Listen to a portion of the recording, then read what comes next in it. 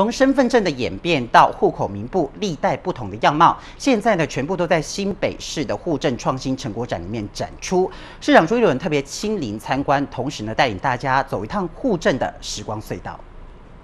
从身份证的演变到户口名簿，历代不同的样貌，这是新北市户政创新成果展的呈现。市长朱立伦亲临参观，并表示，如同带领他走了一趟户政时光隧道。日据时代到光复后，到呃过去到现在，包括我们小时候的身份证、小时候的户口名簿，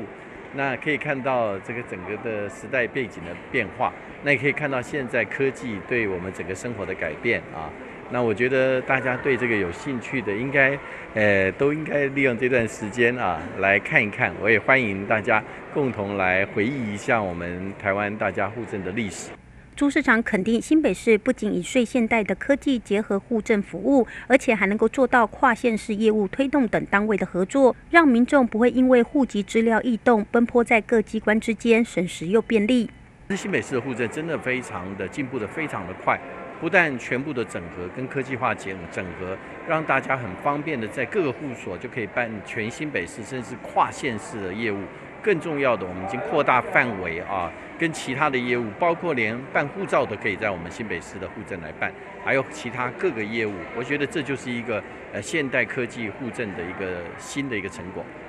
户政业务与民众息息相关，成果展内容相当具有历史价值。然而每件的展品都是新北重要的户政文化资产，也让大家共同见证户政历史的发展。